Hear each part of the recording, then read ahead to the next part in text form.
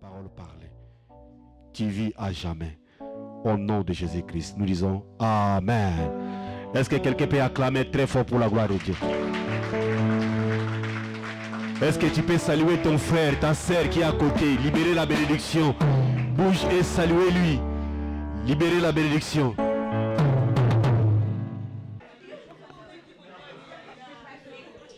Alléluia. Alléluia. C'est un moment que j'aime bien. Parce que regarde à celui qui est à côté de toi, regarde lui. C'est un moment que j'aime bien parce que ça, on transmet quelque chose de bon. Regarde celui qui est à côté de toi, regarde lui. Ah, regarde lui. Alléluia. Parce que dans son palais, tout s'écrit gloire. Lorsque la gloire de Dieu est là, Dieu nous fait du bien. Et laisse-moi te dire que l'éternel est bon. J'aimerais qu'on puisse acclamer pour les chantres, pour le travail qu'ils font. Vous, êtes- vous- vous n'êtes pas gentil, vous êtes contre des chantres. Est-ce qu'on peut acclamer pour des chantres Amen.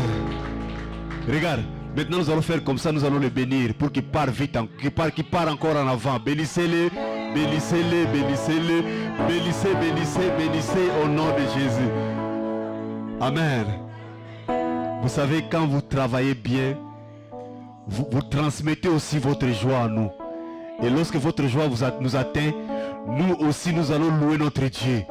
Et la gloire sera rendue à notre Dieu. Alléluia.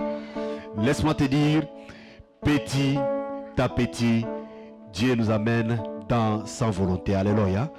Je sais que nous ne sommes pas capables, même pas capables, mais Dieu nous rend capables par son amour. Aujourd'hui, euh, Dieu nous a fait grâce. Nous allons partager un petit pensée rapidement. Et laisse-moi te dire, j'aimerais vraiment revenir un peu en arrière. Et que Dieu bénisse les serviteurs de Dieu de cette assemblée. Parce qu'ils nous ont parlé tellement de choses ces derniers temps. On nous a appris sur le disciple-là, sur les disciples, les vies des disciples, beaucoup d'enseignements et des choses qu'un disciple doit savoir. Et, la foi, c'est la déclaration. Il y a tellement de messages, il y a tellement de messages. Laisse-moi vous dire, vous confirmez que vous êtes bénis. Alléluia. Ah, toi, tu comprends pas. Laisse-moi vous confirmer que vous êtes bénis. J'ai dit pourquoi vous êtes bénis. Parce que lorsque vous recevez la parole, la parole est très importante. La parole est capable de changer votre vie. Et la Bible m'apprend que il y avait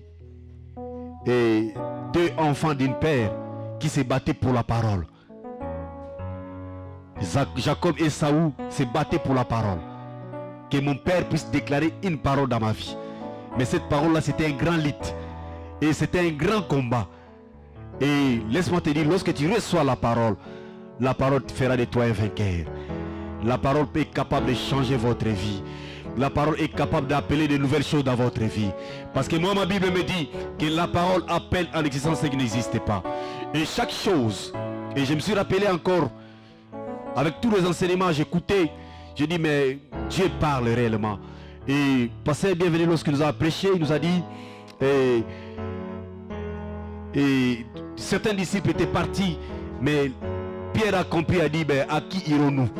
Donc euh, celui qui reçoit la parole, celui qui, là, qui est là, là où sort la parole, ne peut pas abandonner Dieu, ne peut pas lâcher Dieu. C'est comme si, lorsque Élie a déclaré la sécheresse, et l'endroit qu'il était parti, il est parti là où se trouve un d'eau. Parce que lorsque vous avez l'eau, si à la sécheresse, vous n'allez pas mourir. Alléluia. Et or, la parole, c'est l'eau. Et lorsque vous avez la parole, la parole vous donne la vie. C'est pour cela que Jésus a dit à femme, aux femmes, femmes samar- samaritaines, si vous savez, parce que l'eau que vous avez est l'eau que j'ai, et si vous buvez cette eau que moi j'ai, vous n'aurez jamais soif. Et laisse-moi te dire, lorsque tu reçois la parole, tu n'auras jamais soif. Et lorsque tu as la parole, bats-toi pour la parole. Ne lâche pas. Et lorsque la parole est enseignée, recevez cette parole-là, mets-les en pratique. Votre vie va avancer. Je parlais aux grandes dames et aux grands messieurs. Et ils savaient. L'autre disait, écoutez, la parole n'est que rien. Lui, il faisait un soupe de valeur.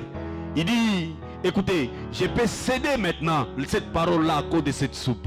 Non, ne cède jamais la parole à cause des biens de ce monde. Parce que Jésus a été tenté par rapport à cela. Je donne encore exemple. La Bible dit au début du ministère de Jésus, Jésus était en prière. En plein désert, en jeûne et prière. Et le diable a profité de ces moments de faiblesse, de famine charnelle, pour dire qu'écoutez, demande à ton père qui façonne ce morceau de pierre, que ça devienne un morceau de pain. Ça va te calmer. Mais Jésus a répondu une chose que l'homme ne vivra pas seulement du pain, mais de toutes paroles qui sortent là de la bouche de l'Éternel. Que Dieu te bénisse parce que tu es là. La parole de l'Éternel sera sémée dans votre vie. Et lorsque la parole de Dieu vient dans votre vie, la parole de Dieu, laisse-moi te dire, ma Bible me dit, cette parole est esprit et vie. Et esprit et vie. Et laisse-moi te dire, lorsque la parole a été prononcée dans la vie d'un homme, l'homme a été qu'une argile. Mais lorsque Dieu a soufflé, la Bible dit l'homme est devenu un être vivant. Or dans l'homme, Dieu a sémé aussi la parole. Dans l'homme, Dieu a mis aussi son esprit. Bien que l'homme avait perdu l'esprit, mais à travers le Saint-Esprit de Dieu, nous avons récupéré l'esprit qui nous permet à communiquer avec notre Dieu. Et ce soir, il y a un sujet que nous voulons partager. Que tu sois, que je sois inséparable avec Christ. Que tu sois, que je sois inséparable avec Christ.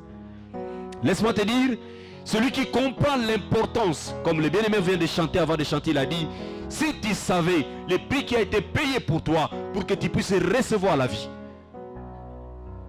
Si tu savais le prix qui a été payé pour que vous soyez appelés enfants de Dieu. Si nous savons, si tu te souviens de cela, tu ne cesserais jamais de célébrer l'éternel. Tu ne cesserais jamais de louer Dieu. Laisse-moi te dire, peuple de Dieu, l'homme sans Jésus, c'est un être mort et sans avenir. Et laisse-moi te dire, parce que lorsque Dieu a déclaré la mort pour la première fois, il n'y avait, pas de promesse après cette mort-là.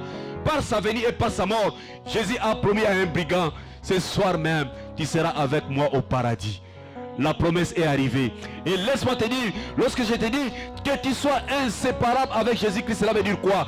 Lorsque tu as la parole de Dieu, lorsque la parole de Dieu vit en toi, peu importe les vents, les tempêtes qui peuvent toucher votre vie, tu seras toujours là pour se mettre debout, pour s'accrocher et laisse-moi te dire, au moment des sécheresses, Élie était assis dans un taureau, auprès d'un torado.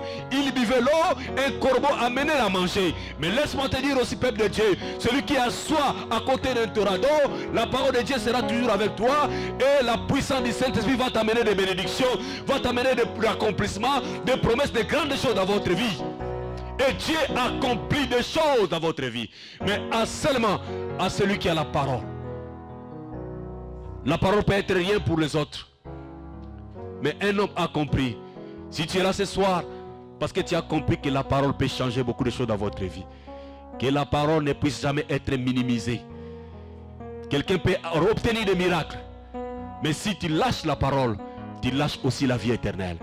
C'est pour cela que la Bible dit la vie éternelle, celle qui te connaisse, toi, le seul vrai Dieu, et ton Fils Jésus-Christ, que celui que tu as envoyé.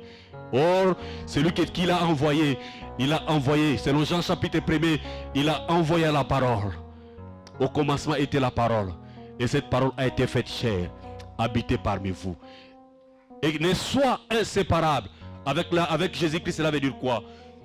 Lorsque la parole demeure dans votre vie, dans votre maison, peu importe les combats, peu importe les menaces, un jour vous sortirez victorieux. L'église de Dieu, Alléluia. J'aimerais apprendre à quelqu'un.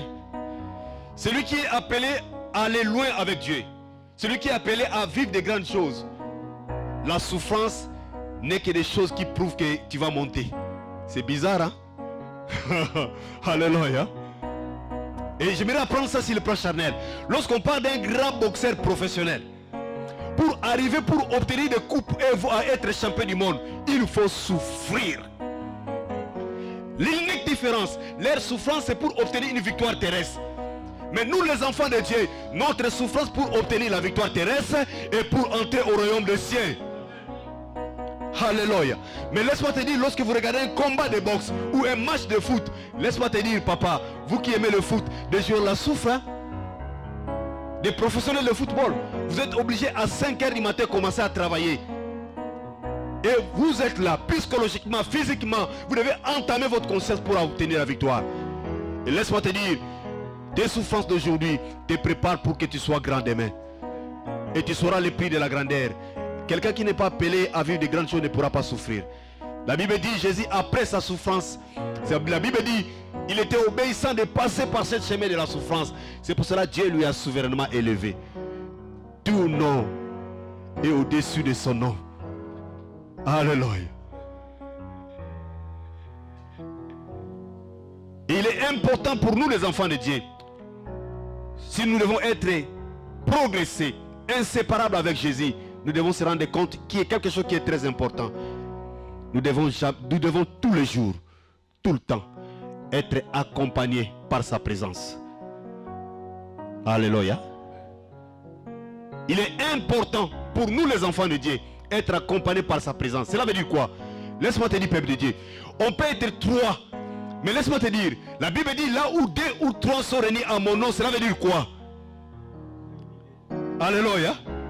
Peu importe, peuple de Dieu, sans la présence de Dieu, peu importe ce que nous pouvons faire, peu importe la manière, peu importe le nombre de personnes, des milliers de personnes, il n'y aura aucun résultat. Mais lorsque Dieu est là, laisse-moi te dire, même s'il y a la pauvreté, même s'il y a l'échec, tôt ou tard, Dieu va montrer qu'il est un Dieu puissant. Et la présence de Dieu est très importante. C'est pour cela, lorsque Jésus partait après la résurrection, c'était la tristesse pour tous les disciples, sans exception, y compris moi. S'il était parti sans laisser une parole, une parole. Vous savez, lorsque quelqu'un mort, tout le monde veut savoir qu'est-ce qu'il a dit à la fin. Alléluia. Pour des gens qui veulent hériter, qu'est-ce qu'il a dit pour moi? Quel sera mon héritage? Mais laisse-moi te dire, des paroles que Jésus a déclarées, ce sont des assurances, l'assurance que nous avons besoin, que vous et moi, nous devons être inséparables. Dis à celui qui est à côté de toi, sois inséparable avec Jésus-Christ. Alléluia. Lorsque nous parlons de cela, laisse-moi te dire, des divorces sont courants. La Bible dit dans les derniers jours, dans les derniers temps, il y aura des soulèvements, des compréhensions. L'un va se lever contre l'autre, l'autre contre contre l'autre. Ça, va être compliqué. Mais laisse-moi te dire, tu peux être rejeté par ta famille, mais jamais dans votre vie que tu ne sois rejeté par Jésus-Christ. Alléluia. Matthieu chapitre 28. Matthieu chapitre 28. Nous allons lire le verset 20. Je lis la parole du Seigneur. Et enseignez-leur à mettre en pratique tout ce que je vous ai précrit. Et moi, je suis avec vous tous les jours jusqu'à la fin du monde. Alléluia. Est-ce qu'on peut acclamer très fort pour la parole de Dieu? Ici, Jésus a donné l'instruction enseigne-les à observer tout, tout ce que je vous ai prescrit. Voici, je serai avec vous tous les jours jusqu'à la fin du monde. Alléluia. Là, c'était une parole prophétique pour nous. Enseigne-les. Peuple de Dieu, laisse-moi te dire, lorsque la voix, la parole sera prise avec toi, c'est que Jésus ne sera plus avec nous. Jésus ne doit pas seulement être avec nous par des signes et des prodiges. Jésus doit être aussi avec nous à travers la parole. Enseigne-les à observer tous mes commandements. Laisse-moi te dire, si vous partez à l'école, si on ne vous dit pas comment, comment je vais être mécanicien, si on ne m'apprend pas comment réparer une voiture, est-ce que je vais réparer une voiture? Alléluia. Enseigne-les, je serai avec vous. Jésus est avec vous. La Bible me dit, ma Bible me dit, il est le même hier, aujourd'hui, éternellement. Laisse-moi te dire, peuple de Dieu, si nous voulons être avec Christ, progresser, que, que nous soyons inséparables, il y a une chose qui ne doit jamais quitter votre vie, c'est la parole de Dieu. Un enfant de Dieu doit aimer, trouver son plaisir. La Bible dit, heureux l'homme qui trouve son plaisir dans la loi de l'éternel. La parole de Dieu ne soit jamais un corvée pour vous. Alléluia. Et enseignez-les. Chaque fois que vous allez vivre, ayez cette envie-là, ayez cet appétit-là d'être nourri de la parole de Dieu. Que, votre, que la parole de Dieu soit en vous.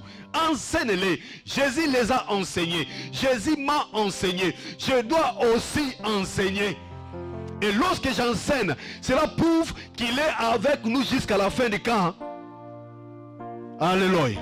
Et tant que le monde n'a jamais fini, tant que le monde n'a jamais pris fin, Jésus sera toujours avec nous. Et Jésus est avec nous. Il est, nous sommes accompagnés par sa présence, d'abord par la parole de Dieu. Celui qui écoute, celui qui aime la parole de Dieu, qui lit la parole de Dieu, la parole de Dieu demain prouve déjà parce qu'il est la parole. Alléluia. Il est la parole. Et cette parole qui a été faite chère consommer cette parole. Et laisse-moi te dire, lorsque la présence de Dieu t'accompagne, tu ne jamais. Tu ne jamais. Et lorsque tu as des questions qui sont sans réponse, lorsque tu es enseigné, tu auras aussi des révélations qui vont t'apprendre dans telle ou telle situation comment je dois me comporter, dans telle ou telle réalité, comment je dois avancer. Si Pierre a compris de ne pas abandonner Jésus parce qu'il a dit une chose, nous, nous avons compris la parole quoi? Alléluia. Nous avons reçu quelle parole? Et celui qui reçoit la parole de la vie, celui qui comprend l'importance de la parole, ne peut jamais lâcher Christ. Laisse-moi te dire, il y a la parole d'un oncle peut être là, mais la parole de Dieu, elle est tellement puissante.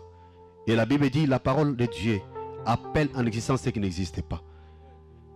Et cette terre que nous vivons, qui est immense, Dieu l'a créée seulement par la parole. Il a dit que la lumière soit et la lumière fit. Alléluia. Et si nous allons, nous les enfants de Dieu, comprendre que la parole de Dieu est très capitale, chaque jour, laisse-moi te dire encore, rappeler quelque chose. Lorsque Jésus a eu la responsabilité, qu'est-ce que Dieu lui a dit? Jésus chapitre 1er, verset 8. faut communiquer, oui. C'est l'église, on est à l'église, oui. C'est alors afin d'agir fidèlement et tu Alléluia.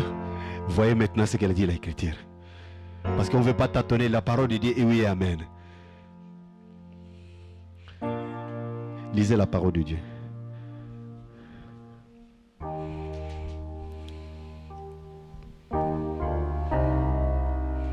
Josué?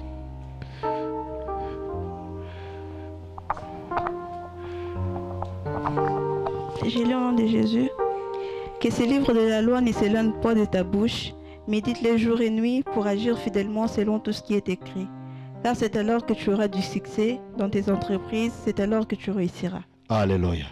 Est-ce que quelqu'un peut dire gloire au Seigneur? Du succès, ce n'est pas auprès d'un féticheur. Il y a des secrets qui te donnera du succès. Mais que ce livre de la loi ne s'éloigne point de tes yeux, Église de Dieu. Et si nous aimons la parole, nous aurons du succès. Alléluia. Et nous allons réussir. Vous savez ce que j'aime? Le monde aime nous condamner en disant que vous n'allez jamais réussir. J'aime quand Dieu change cela en réussite. Alléluia. Le monde peut nous dire, bon, on va voir, ils vont s'arrêter en cours de route. Quand on est connecté à Dieu, sa présence est à nous. Nous avons la parole de Dieu, peuple de Dieu. Je te dis, peu importe le nom ou la réalité, des vents ou des tempêtes, Dieu nous amènera vers la réussite. Alléluia. Celui qui aime la parole, c'est quelle façon C'est quelle manière de faire les choses C'est une façon de dire que Jésus m'accompagne. Même si je ne suis pas capable, lui, il me rendra capable. Et à travers la parole, ce que je ne sais pas, il va m'apprendre. Je serai enseigné et je saurai qu'est-ce que je dois faire. Amen. Hein? Il y a un point qui est très important. Si nous voulons être inséparables avec Christ, nous devons se tenir fermes par sa main. Alléluia. Vous savez, ma Bible me dit que la main de l'éternel n'est pas courte pour agir, ni son oreille dire pour entendre, mais ce sont nos crimes. Une main qui s'est accrochée en Jésus-Christ, qui est connectée en Jésus-Christ, peu importe des vents, des tempêtes, lui comme il a réussi, il a vaincu, toi aussi tu vaincras. Notre main doit tenir ferme. Tenir ferme, cela veut dire quoi? Il y a une façon de tenir par la circonstance. Je tiens sa main. Lorsque tout va bien, je lâche sa main. Alléluia. Vous comprenez un peu ça? Donc ça dit comment l'homme est? L'homme est, si je suis malade ou j'ai des problèmes, des difficultés, je viens m'accrocher à cette main-là. Mais si tout va bien, j'abandonne. Alléluia. Mais lorsque notre main est, est, est connectée en Jésus, fermement, pas sa main, peu importe des circonstances ou des réalités, vous ne serez jamais détaché de cette personne-là. Alléluia. Et laisse-moi te dire, une église qui est connectée en Jésus, peu importe ce que l'ennemi, des projets de l'ennemi, des projets diaboliques, nous allons traverser des moments difficiles, mais nous finirons par vaincre. La difficulté nous prépare vers la grandeur. Je dis bien, la difficulté nous prépare vers la grandeur. Observez bien. Je ne sais pas si quelqu'un a entendu des gens qui ont l'habitude de suivre des histoires des gens. Des grandes personnes qui vous attendez des grandes personnes. C'est des gens qui ont souffert quelque part avant d'arriver là où ils sont. Alléluia. Je vais donner l'exemple simple. Ce sont même, c'est même païen. Arnold Schwarzenegger, je pense que c'est comme ça si j'ai bien prononcé. C'est quelqu'un qui n'est pas américain, mais qui est venu en Amérique dans l'esprit de récits. Alléluia. Vous croyez, c'est comme vous et moi. Nous sommes venus en France dans l'idée de récits. Vous croyez que c'est facile? Alléluia. Mais laisse-moi te dire une chose. J'ai appris quelque chose en mission. En mission, cela veut dire lorsque tu abandonnes, lorsque tu lâches tout, tu ne peux plus accomplir ta, mission, ta, volonté. Et laisse-moi t'apprendre une chose. Celui qui fait la mission, même s'il te dit je t'envoie, Dieu ne te donnera même pas un centime. Il te donnera même pas 10 euros. Là où tu vas être, même si tu dors dehors, il te laissera dormir dehors. Mais tout ce que Dieu attend de toi, que tu puisses accomplir cette mission-là. Alléluia. Et laisse-moi te dire, si tu suis, tu vois les, les disciples qui étaient avec Jésus, leur vie n'était pas en rose. Alléluia. Si d'autres ont abandonné, parce que tout simplement c'était complexe de marcher avec cet homme-là. Ils ont tout laissé, tout abandonné. Pendant tout ce temps, ils marchaient. Ils vivaient avec cet homme-là. Il y a des fois, ils dormaient dehors. Il y a des fois, ils manquaient l'endroit pour dormir. La fois, ils vivaient des vies compliquées. Ils manquaient même à manger. Jésus même a eu faim même parmi ses disciples. Alléluia. Il a vu le figuier en loin, de loin. En regardant, il dit que lorsque je vais arriver, j'aurai de quoi en manger auprès de cet arbre-là. Alléluia. Les difficultés ne puissent pas te décourager. Soyez seulement connectés à Jésus. Peu importe des vents, des réalités que tu peux traverser dans la foi, dans la vie. Ne lâche jamais. Et contente-toi d'entrer dans la victoire. Lorsque tu entres dans la victoire, tu es que comme ma main est connectée auprès de celui qui a vaincu. Moi aussi, peu importe le temps, je dois vaincre. Église de Dieu, Alléluia. Peu importe les temps de réalité, je dois vaincre. Je parle à quelqu'un ce soir. Tant que tes ennemis n'ont pas dit qu'un mot, tant, tant que tes ennemis à n'ont pas commencé à témoigner, continue à persévérer, continue à accrocher toi à Dieu. Soyez ferme jusqu'à ce que tu vas voir des résultats. Dieu n'aime pas des gens qui lâchent vite, des gens qui abandonnent vite. Si Joseph s'est dit que maintenant ma vie est finie, il a souffert en Égypte, mais la promesse de Dieu s'est accomplie en Égypte. Cela veut dire tes prophéties peuvent, peuvent prendre vie dans des circonstances que toi tu ne maîtrises pas. L'unique chose que toi tu dois faire, c'est de progresser et être tenu dans la main ferme. Alléluia. Laisse-moi te dire, j'ai parlé, papa, papa, euh, passé bienvenue n'était pas là dimanche passé. Quand vous avez témoigné, moi j'ai pas eu seulement le temps de dire un mot. J'ai dit, passé bienvenue, il est parti à Ouesso. Il avait 700, il avait quand même l'argent caché. Moi je suis parti à deux reprises. J'ai reçu l'ordre et je suis allé, j'avais zéro. Vous comprenez un peu ça? Mais comment Dieu peut nous envoyer? J'ai dit même cette ville-là a été aimée par Dieu. Parce que c'est là où j'ai rencontré aussi certains serviteurs de Dieu dans cette ville-là. Laisse-moi te dire, peuple de Dieu, si tu veux avancer avec Dieu, ne regarde, ne branche pas ton tête dans les millions. Vois les trophées que tu dois reprendre à paix. Vois comment tu es connecté à Dieu. Dieu te guide, il t'amène là-bas. Que ce soit la pauvreté. Je te dis une chose, peuple de Dieu. Même si tu dors dehors, mais accroche-toi à Dieu. Et lorsque tu as Dieu, tant que tu as Dieu, tu verras des grandes choses s'accomplir. Alléluia. Nous allons voir ça dans Jean chapitre 10. Rapidement, Jean chapitre 10. Béni, tu vas lire. Jean chapitre 10, verset 28. Que ta main soit ferme, connectée à Dieu. Au nom de Jésus. Je leur donne la vie éternelle et elles ne périront jamais et personne ne le, ne le ravira de ma main. Alléluia. Dieu parle ici. Donne la vie éternelle. Et que tu ne périras pas. Dans la main de l'éternel. Que personne ne puisse te ravir. Alléluia. Il y a même des gens qui veulent prendre toutes sortes de raisons du monde. Tout ce qu'il attend, ça l'aide pour qu'il puisse plus prier. Mais Jésus a mis des promesses pour toi. Il t'a donné la vie éternelle. Est-ce que quelqu'un a reçu la vie éternelle ici? Oh, est-ce que quelqu'un a reçu la vie éternelle ici? La vie éternelle, on n'aura pas ça autant le jour de la mort. On a déjà la vie éternelle ici. Alléluia. C'est pour cela, pour nous, la Bible dit la mort n'est qu'un gain. Jésus a dit que personne ne peut te ravir. Et laisse-moi te dire, nous sommes au temps où beaucoup des enfants Dieu seront ravis. Donc cela veut dire, ils prient, bah, ils va botter les panganga comme pe panganga. Alléluia. C'est que tu ne sais pas quel mec qui te tient. Alléluia. Alléluia. Un enfant de roi, tu ne peux pas le tenir parce que tu sais, tu vois d'abord son père. Même s'il ne vaut rien. Alléluia. Un enfant de président, même si en France ici, les enfants de président sont protégés. Parce que si on touche la femme ou les enfants des présidents, cela veut dire que le président est directement. Alléluia. Personne ne peut te ravir.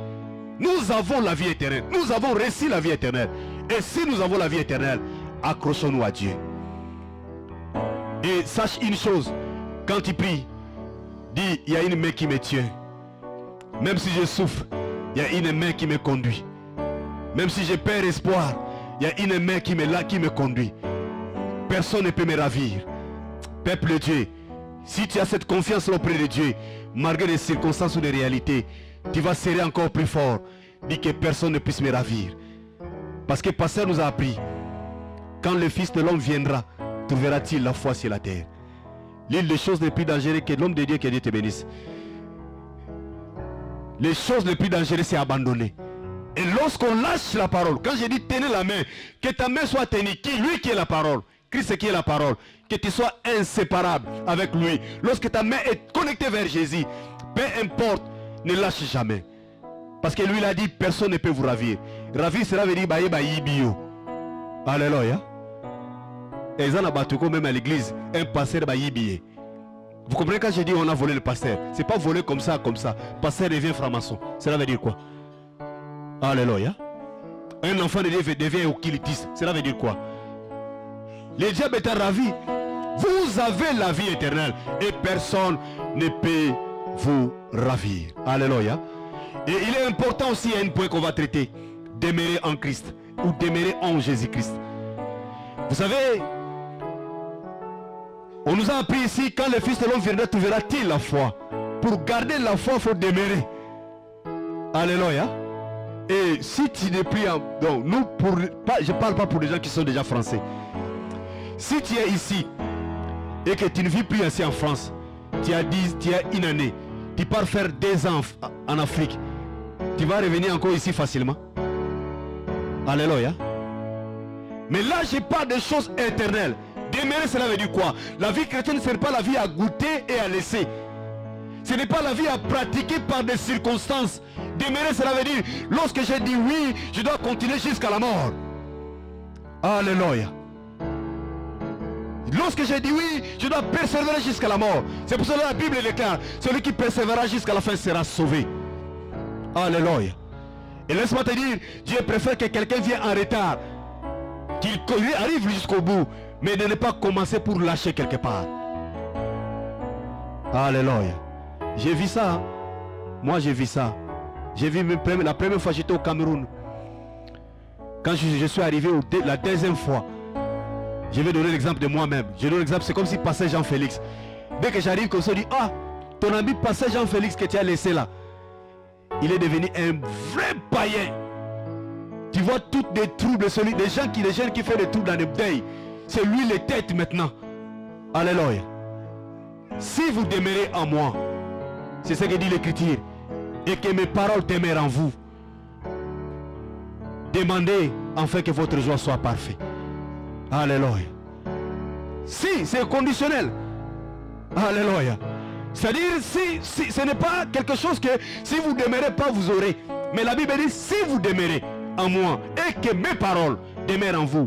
Donc, c'est-à-dire, même si, je ne sais pas quel exemple je peux donner.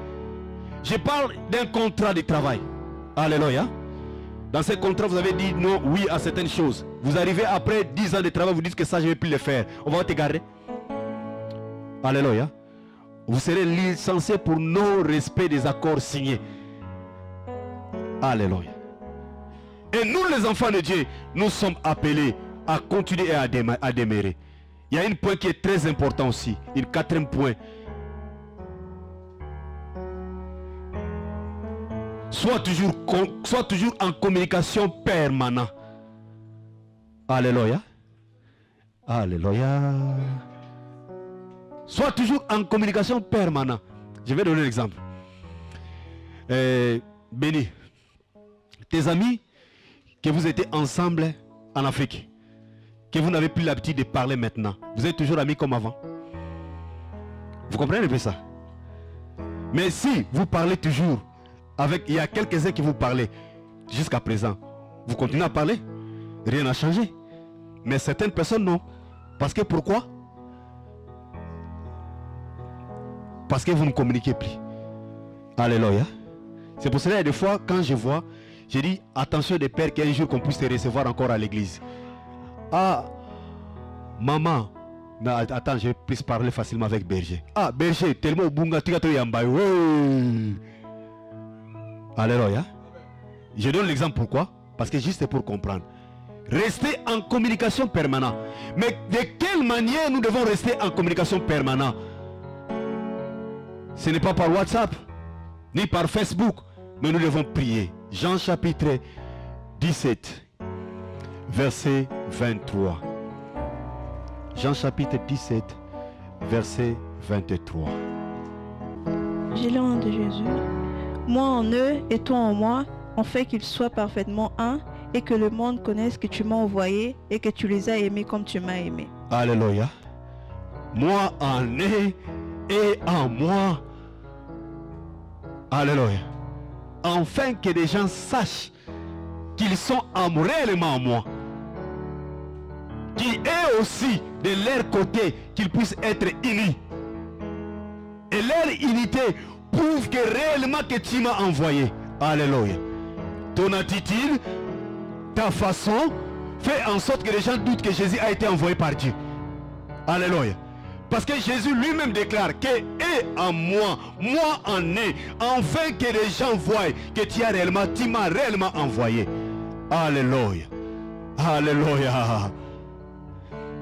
Et celui qui comprend ces paroles-là, il doit chercher l'importance de la parole. Je vais dire à quelqu'un ce soir, la parole de Dieu est capable de changer votre vie. La parole de Dieu est capable d'ouvrir une autre dimension. Peu importe les attaques diaboliques qui peuvent chercher à atteindre votre vie. Si tu es connecté en, réellement en Jésus, lorsque les gens verront ta présence, les gens vont voir directement Jésus qui est connecté à toi. Alléluia. Laisse-moi te dire, ma Bible me dit, lorsque les disciples ont été appelés pour la première fois disciples, parce que leur, façon, leur manière, c'est ressembler à leur maître. Alléluia. Communication permanente. Laisse-moi te dire, il y a certains couples, même quand tu vois, leur complicité commence à grandir. Quand tu observes leurs choses, commence aussi à ressembler. Alléluia. C'est pour cela l'apôtre Paul disait, soyez mes imitateurs comme moi je suis de qui? Alléluia. C'est pour cela que vous allez se rendre compte, Paul disait, si je vis, est-ce que c'est Paul qui vivait? Mais c'est qui vivait? Alléluia. Et cela veut dire, nous l'église de Dieu, si on est en communication parfaite, permanente avec Jésus-Christ, nous serons plus la même. Nous allons ressembler à celui qui nous a appelés. Nous allons ressembler à notre sauveur. Notre façon va changer. Notre bannière va être modifiée. Parce que la grâce de Dieu, la bonté de Dieu va nous affecter. Alléluia. Et laisse-moi te dire une chose. Faisons confiance à Dieu. Parce qu'actuellement, il, y a des, il y a des puissances négatives qui veulent nous arracher de la volonté de Dieu. Soyons, nous soyons, que nous, l'église de Dieu, qu'on puisse ressembler à notre maître. Et si nous serons identiques à lui, la grâce de Dieu, nous nous serons inséparables à Jésus-Christ. Il y a des fois, quand on réfléchit, c'est comme si prier, ça devient difficile. La foi chrétienne, c'est comme si un corvée. Non, la foi chrétienne, ce n'est pas un corvée. C'est même la facilité. Alléluia. Parce que vous, vous ne vivez plus. Mais il y a un autre. Il y a celui qui a vaincu qui vit à toi. Et lorsque Christ vit en toi, tes échecs seront loin. Et la parole, lorsque la parole est avec toi, la bénédiction de l'éternel ne sera pas loin de toi, ni loin de ta famille. Et Dieu te bénira. Alléluia. Que Dieu bénisse la parole de Dieu.